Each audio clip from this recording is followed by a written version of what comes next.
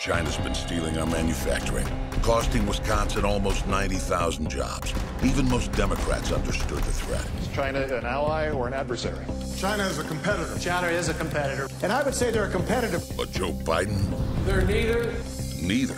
If you can't understand the threat, you can't stop China. They're neither. I want to say amen to Joe Biden because he's 100% right. To stop China, you have to stop Joe Biden. America First Action is responsible for the content of this advertising.